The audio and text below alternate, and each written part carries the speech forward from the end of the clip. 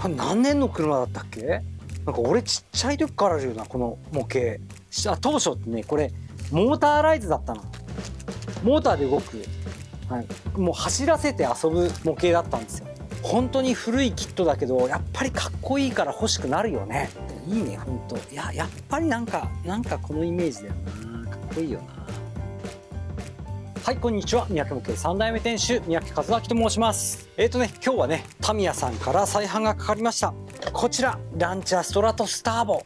これを紹介してみようかなと思って持ってまいりました。ねこれ何年の車だったっけ？なんか俺ちっちゃい時からあるよなこの模型。えーとねあ1974年にラリーか。うん。そんでその後にストラトスターボねできたんです。やっぱりねストラトスっていうとねどうしてもラリー車のイメージがすごい強いですけどまあグループ5でねこのような形であのストラトスターボとしてグループ5マシンで出ておりましてそれをタミヤさんはキット化しております。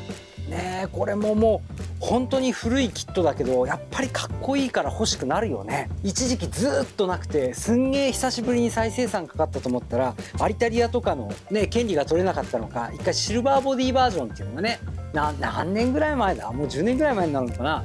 出たことはあったんですけれども今回の再販ではかっちりとアリタリアのデカールついて再販になっております。じゃあ早速箱を開けてみましょう。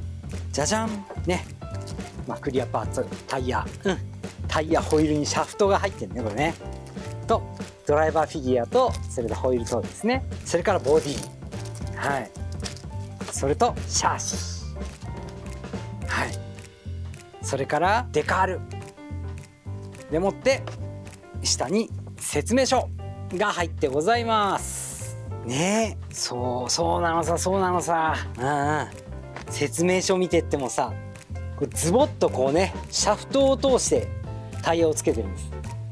これね実はね発売の最初の頃ってあ当初ってねこれモーターライズだったの。モーターで動く、はい、もう走らせて遊ぶ模型だったんですよ。なのでいまだにその名残でねこのシャーシのところにはね電池が入るスペースであったりとかギアボックス入るスペースそれからスイッチのね場所とかそういうのもついてますね。そんな感じの模型なんですけれどもうん。いや懐かしいな。昔作って走らせたな。アリタリアのデカールとか、ね、当時まともに貼れなかったけど。そうそうそうそうそう。なのでねこのねフロントもねちゃんとステアリングが切れるようにねこう組むことができるんですよね。して当たり前だけど走る模型だからドライバーフィギュアもついてます。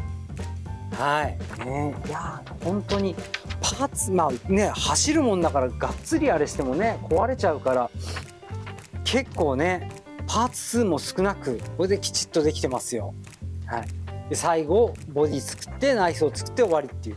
すごい単純な感じ。であとねこっち側にボディのね後ろの被弾とかねその辺が実車はねあのストラトスターボっていうとあストラトスっていうとねやっぱりあのディノのエンジンをね積んでねあのー、ラリーにね参戦してきたっていうねそういうような感じだとは思うんですけれどもあいろいろとねここに説明も書いてありますがねこのくさび型かっこよかったよな。エンジンはフェラーリディノと共通の2.4リッター V6 DOHC そんな感じですね。ね今日このさ本当にグループ5になるとさやっぱりこのオーバーフェンダーだったりとかさもうこのねあのシュッとしたくさび型のデザインからさ俺行くぞみたいな感じのこのデザインに変わっちゃうっていうね。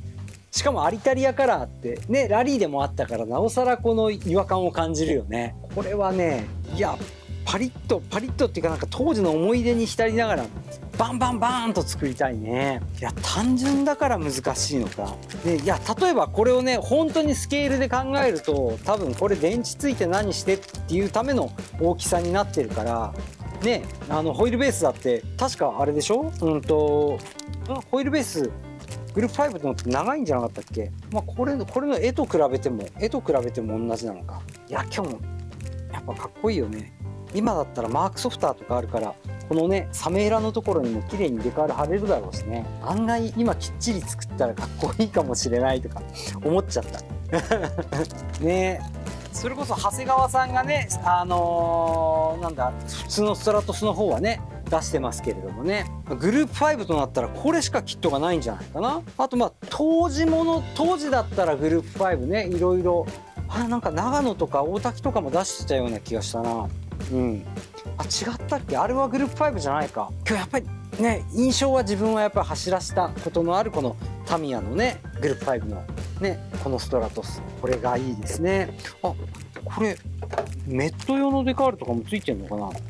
昔はそんなの気にもしなかったけど多分あついてるね。ヘルメット用のデカールとかもついてるのでこれはかっちり作ったら意外と面白いかも。今の技術でね古い模型をねガリッと作るっていうねエッチ立てるとこピッと立てて今だったらディールアップパーツもたくさん出てるけどまあそこまでやることもないなこれはな。今のシュッとした感じの塗装してあげれば全然かっこいいと思う。ね。ということでねまあ当時電池を積んでガンガン走らせた人も多かったであろうランチャーストラトスターボ。こちらの方今日は紹介させていただきました。はい三宅模型では各種 SNS うんとそれからね YouTube もチャンネル登録それからグッドボタン押していただけるとモチベーションも上がりますのでぜひよろしくお願いいたします。あとね、えー、と不定期ではございますがうんとライブ配信もやってございますのでぜひお時間ある方は遊びに来てください。よろしくお願いします。